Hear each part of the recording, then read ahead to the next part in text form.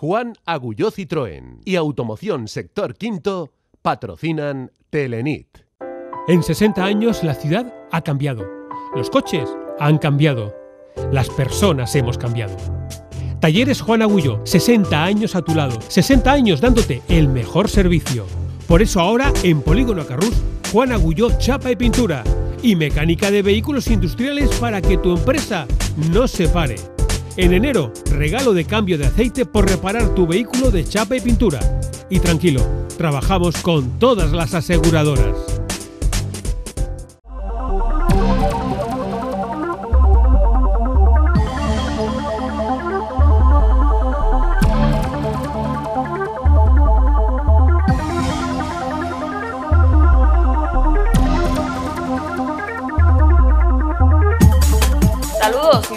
Al Telenit en este viernes en el que la Junta de Gobierno ha aprobado diferentes asuntos y además las cartas arqueológicas han estado presentes.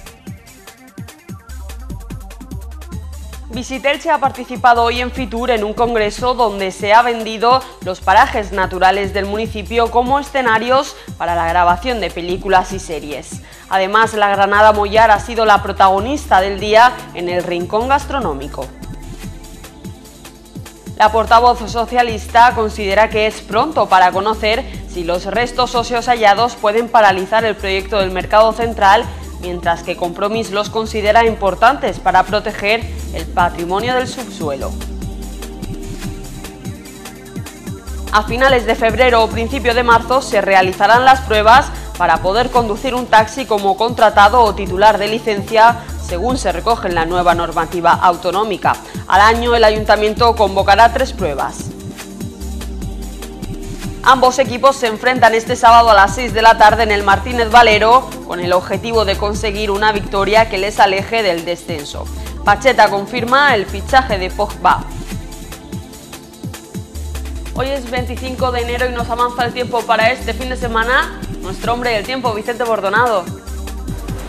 La protagonista de hoy ha sido la situación de Poniente que nos ha dejado viento de componente terral y temperaturas verdaderamente primaverales máximas que en buena parte del territorio han rondado los 22 grados. Mañana continuarán las temperaturas elevadas, encima de los 20 grados y el domingo vuelve el viento de componente noroeste con rachas de 50 km por hora. Ampliamos toda la información meteorológica después del Telenit.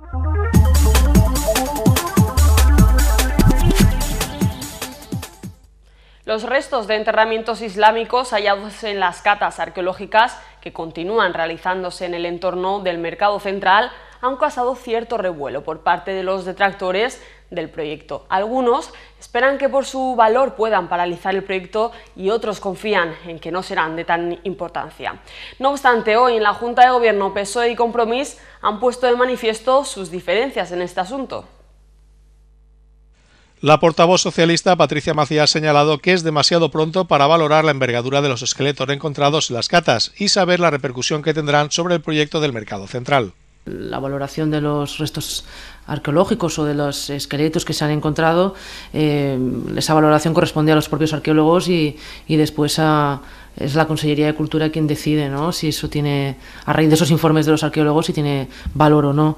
es necesario determinar el valor y la repercusión que puedan tener eh, en un futuro, pero nosotros no tenemos eh, a, día de hoy más información que, que esa. No, no tenemos, los técnicos municipales no nos han trasladado nada en concreto, fueron a verlos, pero no falta que se haga ese informe de valoración y entiendo yo, de los propios arqueólogos. Mientras que la representante de Compromís ha recalcado que los restos hallados ponen de manifiesto la importancia del patrimonio que hay en el subsuelo del mercado y por tanto es lo primero que se debe proteger. Yo creo que sí que el hallazgo pues, vuelve a poner de manifiesto la importancia del patrimonio con el que contamos en el subsuelo del entorno del mercado y que obviamente tiene que ser lo primero a proteger y a poner en valor en, la zona centro. Entonces, como digo, pues más allá de que los técnicos hagan después esa valoración concreta, creo que sí que, que es destacado pues que obviamente cada paso que damos se pone de manifiesto pues la, importancia del patrimonio con el que cuenta el centro histórico. Según los datos de la empresa Parcisa, la pasada semana aparecieron en lo que se piensa que puede ser un patio con un aljibe del siglo XVIII, dos esqueletos muy fragmentados de época islámica, y existen otros dos esqueletos más de la misma época. Según la empresa, estos restos pueden pertenecer a una misma familia porque era frecuente los enterramientos en los patios de las casas, sin que lo hallado pueda pertenecer a ninguna necrópolis. Hoy una máquina ha levantado parte del asfaltado porque según fuentes de la empresa quedan 20 metros por excavar calculan que a finales de mes o principios de febrero terminarán con estos trabajos. En la Junta de Gobierno local de hoy se ha aprobado las bases de las nuevas pruebas que se realizarán para obtener el carnet de taxista y la composición del jurado. La Ley de Movilidad ha explicado que la nueva normativa autonómica obliga a los profesionales del, del taxi a disponer de este certificado acreditativo y además está previsto que al año se realicen al menos tres pruebas para poder prestar este servicio.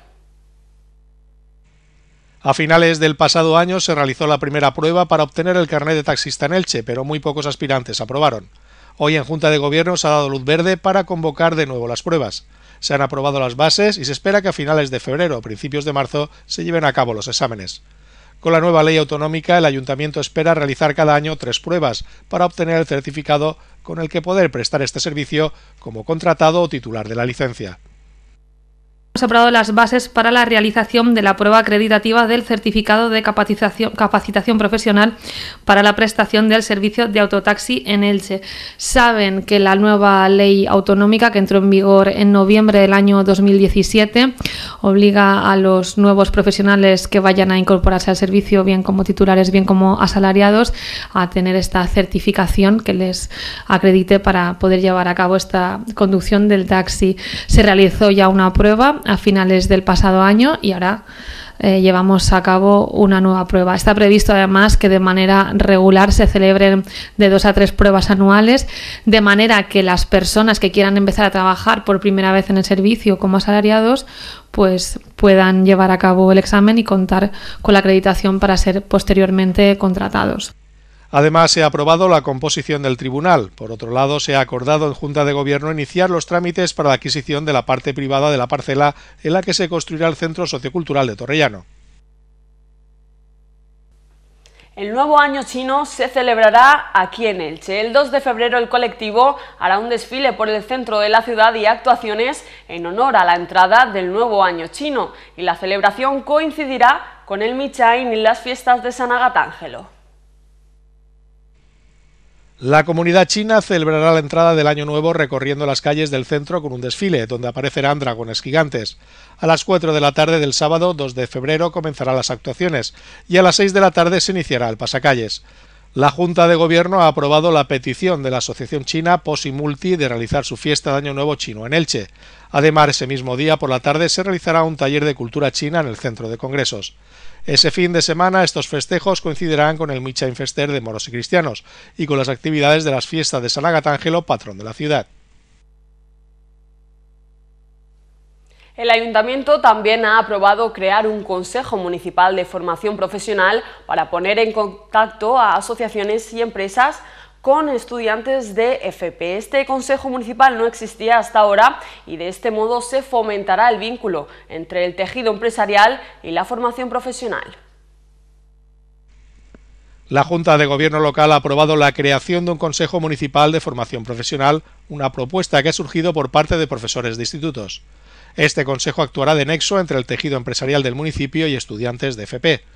En él participarán técnicos municipales, grupos municipales políticos y representantes como Abecal, Jovenpa o Cedelco. El reglamento irá al pleno del próximo mes de febrero. Un consejo que este ayuntamiento no tenía y que este equipo de gobierno ha trabajado para que eh, la formación profesional, que muchas veces lo hemos dicho, es eh, el futuro de, la educación en este país, eh, esté representado en un consejo municipal eh, con el fin de poner en contacto las asociaciones empresariales, el tejido empresarial de la ciudad con el tejido educativo de la formación profesional que en nuestra ciudad es muy amplio y está muy trabajado. Por otra parte, se ha aprobado el programa Lanzaderas de Empleo de la Fundación Santa María y Telefónica para que cerca de 60 personas desempleadas entre 18 y 60 años puedan encontrar trabajo.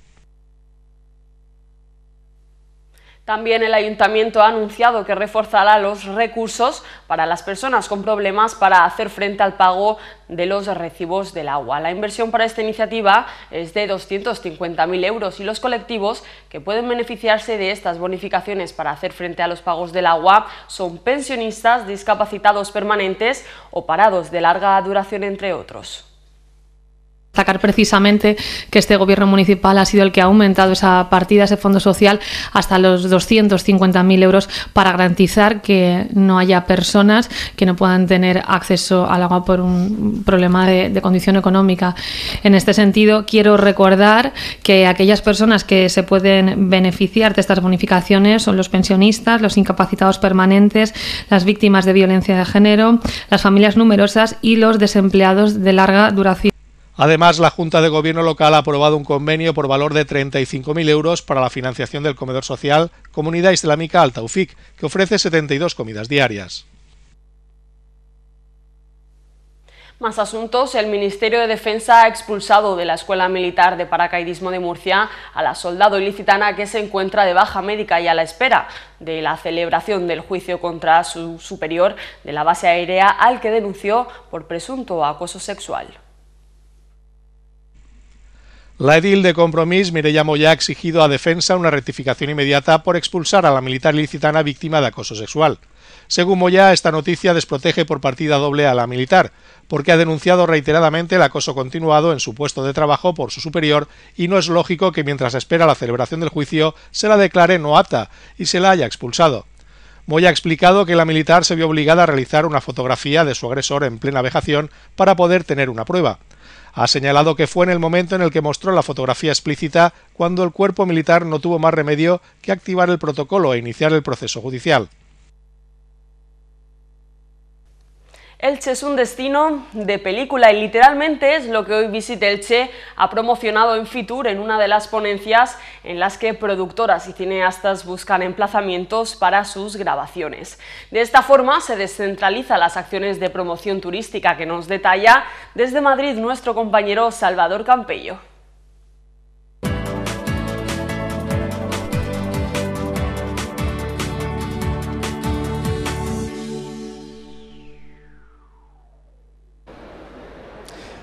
Aquí en Madrid, en este tercer día de la Feria Internacional de Turismo, la actividad de Visit Elche se ha descentralizado de ese pabellón número 7 donde está el stand de la Comunidad Valenciana y se ha desplazado a lugares como este, donde se está llevando a cabo un congreso dedicado a las productoras que están buscando escenarios donde grabar. Por primera vez, Elche se está ofreciendo como destino de película a dos niveles al nivel de usuario porque puede ver parajes de ensueño, pero también para las productoras para que puedan tener en cuenta los espacios naturales como el Hondo o las playas de Elche a la hora de elegir esas escenografías para sus películas. Este mediodía, la concejal de turismo ha hecho esa presentación en la que además ha anunciado que el Festival de Cine Independiente de Elche y el Fanta Elche están cogiendo más relevancia dentro del panorama cinematográfico nacional.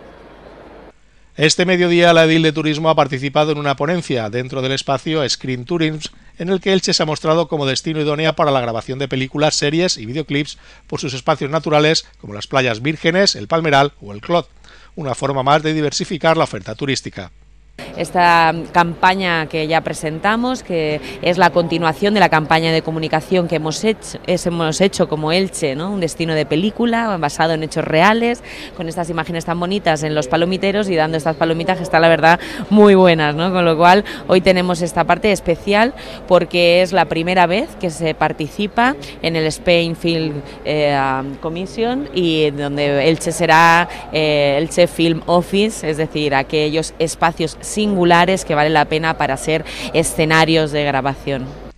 Esta jornada dedicada a un público más profesional se ha visto reforzada con una acción de marketing por todo el recinto ferial, en el que se han repartido palomitas de maíz en unos envases con imágenes de Elche con el lema Un destino de película.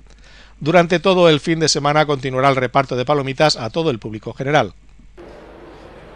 Como decimos, la acción hoy se ha descentralizado no solamente en lugares como este, donde se han vendido esos destinos de película, sino también con show cookings, donde se ha enseñado la gastronomía de Elche. Además, la presencia de nuestro municipio está fuera de este recinto ferial de IFEMA, porque en la línea de metro número 8, que es la que viene hasta aquí, hasta la Feria de Madrid, está empapelada con los carteles de Elche. Una línea de metro que este año, por las circunstancias de la huelga de taxis, todo el mundo que quería entrar a Fitur ha tenido que utilizarla. La huelga de taxistas madrileños ha dejado como única opción el transporte hasta Fitur en metro. Precisamente la línea que lleva hasta IFEMA, Visitelche, ha colocado carteles de la ciudad y anuncios en las pantallas del metro. Una acción de promoción de la ciudad que se verá ampliada el sábado cuando las reinas de las fiestas participen en un desfile por el centro de Madrid. Mañana haremos un desfile junto a las demás delegaciones de la provincia de Alicante. El desfile empieza en la Plaza Callao hasta la Puerta del Sol y pasaremos por la calle Preciados. Iremos, iremos miembros de la Real Orden de la Dama con la Dama Viviente, nosotras tres junto a los miembros de la Federación Gestora. Bueno, ¿para qué va a servir esa acción eh, que vais a hacer en el, en el centro de Madrid? Bueno, pues para darnos un poquito más a conocer a, todo, bueno, a toda la gente de Madrid y a todos los visitantes, para enseñar nuestra Dama de Elche y nuestros trajes. Además de las fiestas, la gastronomía de Elche también se está promocionando estos días en la capital. Hoy el cocinero Josué Sepulcre ha realizado un show cooking en Fitur con granada mollar y en el mercado de San Miguel se ha instalado un stand con esta fruta que tiene denominación de origen protegida. Bueno, pues hoy es el último día que Fitur abre sus puertas para el sector profesional. A partir de mañana será el público general el que pueda recorrer los diferentes pabellones y a partir de ese momento Elche ya se ofrecerá directamente a los turistas que pueden venir a nuestro municipio. Es por eso que además de ofrecer estas palomitas como acción de marketing, se va a llevar a cabo otras acciones en el centro de Madrid. Por ejemplo, el sábado por la tarde habrá un desfile de Costa Blanca con todas las fiestas en el que participarán las reinas y damas de las fiestas de Elche. Nuestra parte, por parte de Teleelch, esto es todo desde aquí, desde Madrid.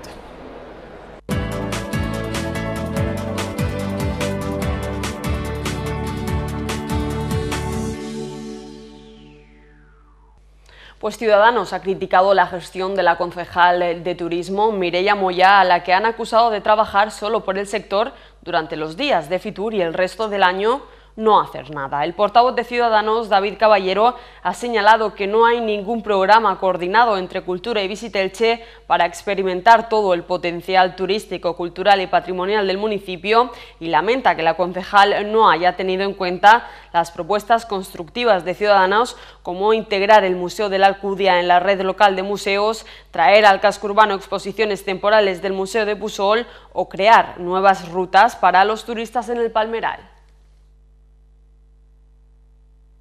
Ilicitanos por Elche también ha criticado la labor de Mireia Moya. El edil Fernando Dura ha, denunciado que Visitelche ha acudido a Fitur con un plan director caducado y sin novedades. Por eso en el pleno del lunes instarán a la concejal a redactarlo de nuevo. El concejal de Licitanos por Elche, Fernando Dura, ha criticado a la edil de turismo por acudir a Fitur con el mismo plan director de hace tres años. Afirma que está caduca y le insta a través de una moción que lleva al pleno del lunes a que trabaje la redacción del nuevo plan director. El objetivo es marcar la hoja de ruta de la política turística en el municipio licitano. Llevamos una moción a este pleno del mes de enero en la que urgimos a la concejala de turismo a que afronte con responsabilidad el compromiso que asumió cuando decidió presidir Visitelche el sector turístico representa una gran oportunidad de crecimiento económico en nuestra ciudad, una palanca para generar empleo y como tal es preciso poner en marcha de manera inmediata esa herramienta de gestión, ese nuevo plan director de turismo que defina esa hoja de ruta encaminada a impulsar y mejorar la política turística en Elche.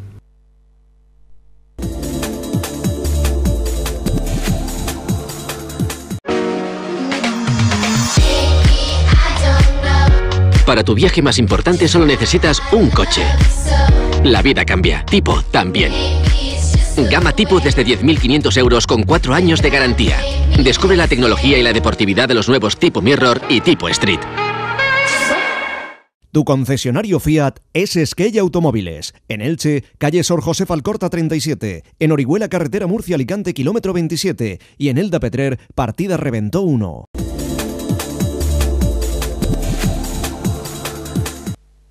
El Grupo Popular llevará al Pleno del lunes una moción para reforzar el alumbrado público en algunas zonas de Elche con el fin de acabar con los problemas de inseguridad.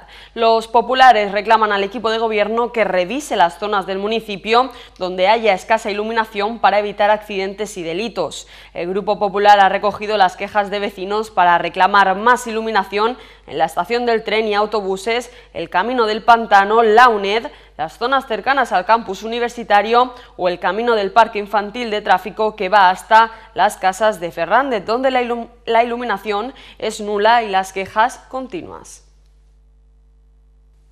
El partido de Elche llevará al pleno del lunes una moción para que el deporte adaptado se incluya en el callejero del municipio. Su portavoz, Jesús Pareja, lamenta no haber podido crear una fundación de empleo para personas con diversidad funcional, aunque confía en que pueda llevar a cabo un proyecto para la creación de un pabellón adaptado.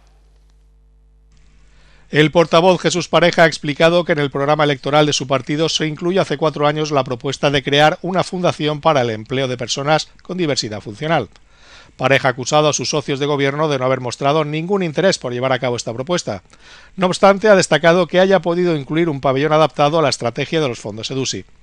Además, al pleno de lunes llevará una moción para que algunas plazas públicas o calles se dediquen al deporte adaptado se transforme o se le dé un reconocimiento, se le haga un reconocimiento al deporte adaptado, eh, habiendo en Elche o teniendo en Elche una plaza o una calle importante o un jardín que tenga o que se dedique al deporte adaptado a estas personas en la ciudad. Creemos que es algo que contribuiría desde el punto de vista social a tener una mayor sensibilidad para entender la vida que llevan las personas que tienen menos opciones o menos oportunidades.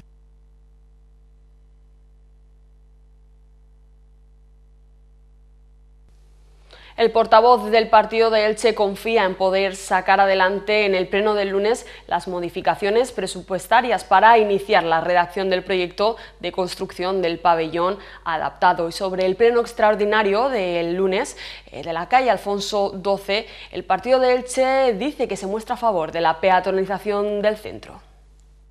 Mire, la reflexión que hago es que la oposición lo que quiere es que no se haga nada. Ese es el sentimiento que tenemos aquí. Vienen unas elecciones municipales y es muy fácil para la oposición decir que no han hecho nada. Y yo creo que al final lo que hay que hacer son cosas y lo que desde luego no podrán acusar, fíjese lo que le digo, a mi formación política y a las áreas que nosotros llevamos es de parálisis, como están haciendo a lo mejor con otras áreas, que tampoco es del todo verdad. Pero ya le digo que en lo que nosotros respecta, en lo que es responsabilidad nuestra, de eso no nos podrán acusar.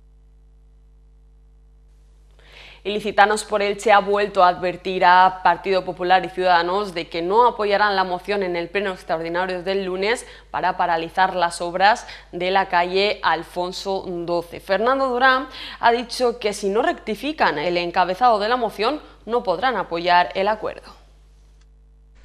El PP y Ciudadanos se incluyeron en esa moción para paralizar las obras de Alfonso XII, que era necesario continuar con la tramitación del proyecto de construcción del nuevo mercado central. Ese punto ha motivado el rechazo de Licitanos por Elche, que a pesar de apoyar las quejas de vecinos y comerciantes por el inicio de las obras, no puede apoyar la moción, porque desde el principio han estado en contra del proyecto del mercado adjudicado a la empresa Parcisa. Mm, creo que está muy claro. A lo mejor la posición del PSOE o de Ciudadanos con respecto al mercado puede ser un poco oscilante, pero nuestra posición en estos cuatro años ha sido muy clara. No queremos el modelo de proyecto de mercado del PP. Con ese encabezado no podemos apoyarlo. Este domingo el Ateneo Pablo Iglesias realizará en el Gran Teatro el concierto Corales por la Paz, donde se reconocerá el trabajo del director de la cátedra Peribarra, Miguel Ors, y se rendirá homenaje a los ilicitanos que sufrieron y murieron en los campos de concentración. En este acto que comenzará a las once y media se reivindicará la memoria histórica como pilar para construir la paz y comprender nuestro pasado. Además, actuarán las corales del municipio, la rondalla de la tercera edad, el grup d'Abanebres Sant Agatangelo, el coro CEAM de Elche, Amics Cantors, la coral Dama de Elche, el cor de Cambra, la coral del Pla y la coral ilicitana.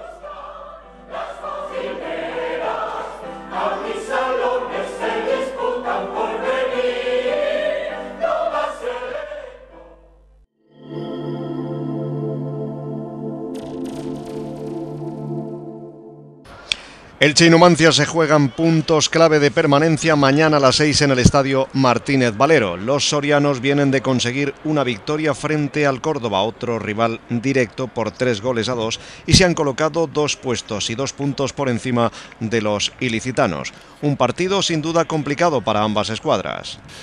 Partido eh, complicado, porque es un equipo que nos va a hacer correr y desde aquí quiero mandar un mensaje de que habrá momentos en los que el rival va a tener el balón, aunque le apretemos bien.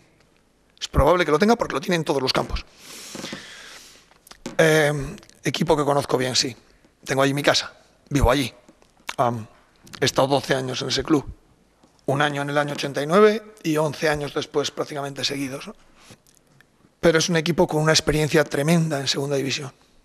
Entonces todos los jugadores que tiene eh, el, escudo, la camiseta, la entidad hace que sean jugadores de segunda división. Por eso este tipo de equipos que llevan tantos años son sumamente complicados. Porque todos los jugadores, aunque tú incorpores jugadores de segunda B, enseguida se convierten en segunda A porque el, el bloque fuerte de 23 o 24 futbolistas, 20 son de segunda división ya. Entonces son equipos muy, muy, muy complicados por esa experiencia que tienen y porque además son equipos que ahora, con el límite salarial y demás, al no tener deuda, tienen un porcentaje muy alto que pueden destinar a la plantilla. Entonces, son equipos muy, muy, muy peligrosos y con jugadores muy buenos. En el partido de ida, el Numancia consiguió su primera victoria a costa del Elche Club de Fútbol en un partido marcado por la polémica, por un penalti muy riguroso pitado a favor de los sorianos que les sirvió para ganar y otro más claro no pitado a favor del conjunto ilicitano. A partir de ahí comenzó el calvario arbitral para el Elche Club de Fútbol. Por su parte, López Garay, técnico del Numancia, reconoce que va a ser también un partido muy difícil. Partido difícil porque el Elche en casa está haciendo muy bien las cosas y porque es un equipo que está en una dinámica de resultados no tan buena como, como transmite su juego. ¿no? Es un equipo que está presionando muy bien a sus rivales, luego es un campo muy grande en el que hay espacios para jugar y tienen gente que sabe jugar muy bien al fútbol. La verdad que es un equipo que, a pesar de venir de, ascender, no deja de ser el Elche, un equipo que tiene una trayectoria importante en el fútbol nacional y que tiene muy buenos jugadores. ¿no? Ya la primera vuelta nos costó mucho ganar, fue nuestra primera victoria y vamos a mañana preparados sabiendo que nos espera un rival potente enfrente y que es un partido importante porque, bueno, en esta, como digo yo, parte clasificatoria media-baja estamos junto casi de la mano con ellos y, bueno, es un partido que de sacarlo adelante daríamos un impulso. Pacheta cuenta con 18 jugadores justos para hacer la convocatoria ya que tiene las bajas de los cuatro lesionados, entre ellos el último en caer, Iván Sánchez. Juan Cruz volverá al lateral izquierdo, Nacho Gil a la banda izquierda y Javi Flores al centro del campo. Mientras el técnico blanquiverde ha valorado muy positiva la vuelta de Pogba, que será inscrito la próxima semana, un jugador que bajo su punto de vista aporta historial y condiciones y que además soluciona una posición que tiene la carencia de la ausencia de Pogba. De aquí hasta el 31 todavía se podría firmar a un futbolista más. ¿Cuál sería su preferencia? Yo sí tengo que pelear hoy. Con lo que tengo, la voy a pelear. Si viene alguno más será para mejorar. ¿De dónde? Estamos abiertos al mercado, quedan cinco días, siete, seis días, hasta el jueves. Oh, y estamos abiertos, pero ahora una necesidad imperiosa, hoy, la necesidad imperiosa es que los jugadores que creemos que tienen que continuar, que no se vayan. Los que creemos que tienen que continuar. Entonces, ¿que viene alguno más? Pues vendrá para mejorar. Pero es verdad que Pogba nos soluciona una posición en la que teníamos carencias, porque en estos momentos tenemos eh, dos centrales em, específicos solamente. Tenemos la posibilidad de Manolo de jugar como central, tenemos la posibilidad de jugar con Juan, pero son ya eh, otro tipo de apuestas. ¿no? Entonces Popá nos soluciona una posición en la que tenemos carencia y en la que tenemos casi siempre muchas sanciones. En la agenda deportiva del fin de semana destaca en tercera división el partido del ilicitano que jugará contra el Atlético Saguntino el domingo a las once y media en el Martínez Valero. En División de Honor Juvenil, dos partidos. El Elche recibe al Atlético madrileño el sábado a las 3 y el Kelme viajará para jugar contra el Alcira el sábado a las 5. En segunda división femenina, el Elche Club de Fútbol de Quique recibe al Spalicante el domingo a las 5 y media en el 10 Iborra. En fútbol sala, en segunda división masculina, el Axaite por Elche viene de caer por goleada 9-1 contra el Colo Colo Zaragoza.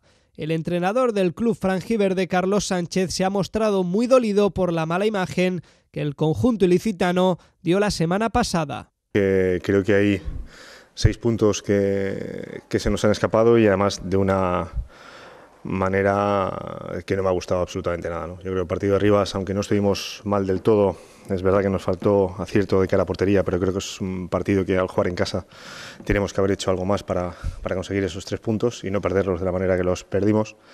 Y sobre todo el domingo pasado en, Zaragoza, yo creo que, que, no, se puede, no se puede perder de esa forma. ¿no? Hay que felicitar al, al equipo de Zaragoza, hay que felicitar a Colo Colo porque nos pasó por encima en actitud y nos ganó por, uh, por esa garra y por esa actitud que tuvo y nosotros no podemos tirar el partido por, por, tierra después de un segundo gol o de un tercer gol y bajar los brazos de la manera que lo hicimos y sobre todo pues, eh, pues no se puede tener esa falta de actitud y esa falta de ganas a la hora de, de, de tener que remontar ¿no? así que como pasa con los hijos pues yo defiendo a mis jugadores a muerte, a capa y espada, hasta el último segundo que están conmigo o hasta el último segundo que estoy con ellos, pero como a los hijos hay que, hay que reprimirlos y hay que, hay que decirles que hay ciertas cosas y ciertas líneas que no se pueden, que no se pueden pasar. ¿no? Y yo creo que el otro día se tocó fondo en eso, entonces no se puede per permitir más. Y entonces, o los jugadores estamos todos al 100%, es verdad que vienen de lesiones y algunos arranqueantes y no está al 100%, pero hay una cosa que nunca te tiene que salir mal, que es el correr. Y aquí en este, en este deporte de élite hay que correr y hay que pelear. Y si no lo haces, pues cualquiera te va a pintar la cara, como pasó el otro día que no la pintaron bien además. Entonces, yo hacía mucho tiempo que no lo pasaba mal dentro de una pista de fútbol sala y el, do, domingo pasado para mí fue un palo fue un palo importante porque si algo tienen los equipos a los que yo entreno es, es esa actitud, es esas ganas, es esa, es esa garra y creo que y creo que el otro día pues no se tuvo nada de eso. Entonces eso a mí sí que me ofende mucho. El Axaitei por Elche tendrá la oportunidad de levantarse este sábado a partir de las 5 en el Esperanza Lag ante el solista Lavera. Es un buen rival, un rival que empezó la primera vuelta sensacional, es un rival que juega bien, es un rival que tiene una muy buena plantilla con jugadores con una experiencia tremenda y que, te pueden pintar la cara como tú no estés, como tú no estés bien. Entonces eh, dominan bien el juego de cuatro, es un equipo que defiende también bien, es un equipo que la estrategia la, la, domina bien, yo creo que está bien trabajado, entonces además con esa experiencia que tienen los, pues los jugadores siempre tienen alguna salida para, para, para, poder seguir jugando, entonces es un equipo realmente difícil. ¿no? Y co como dije antes, hay seis puntos que se nos han escapado que te dan cierta estabilidad y cierta tranquilidad y hay que sacar esos puntos en otras pistas que van a ser más complicadas. Por otro lado, en segunda división femenina, grupo 2, el Juventud d'Elx jugará en tierras catalanas contra el Sabadell el sábado. En balonmano, en la primera estatal, grupo El Vulcanizado Salverola recibe en Carrul la visita del Villarreal el sábado a partir de las 8. Dos horas antes, en la Liga Guerreras Iberdrola, jugará el Mustang también en Carrus contra el Atlético Guardés. Y por último, en voleibol, en la Superliga 1 femenina, el ESD Granadas de Elche recibe en el Toscar a La Laguna el sábado a partir de las 8.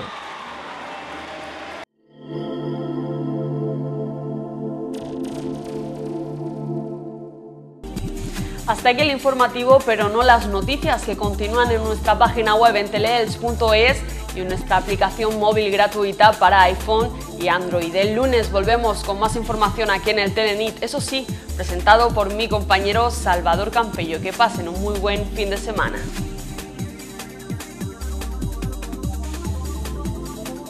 Juan Agulló Citroën y Automoción Sector Quinto patrocinan Telenit.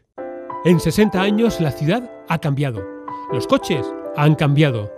Las personas hemos cambiado. Talleres Juan Agullo, 60 años a tu lado, 60 años dándote el mejor servicio. Por eso ahora en Polígono Carrús, Juan Agulló chapa y pintura y mecánica de vehículos industriales para que tu empresa no se pare. En enero, regalo de cambio de aceite por reparar tu vehículo de chapa y pintura. Y tranquilo, trabajamos con todas las aseguradoras.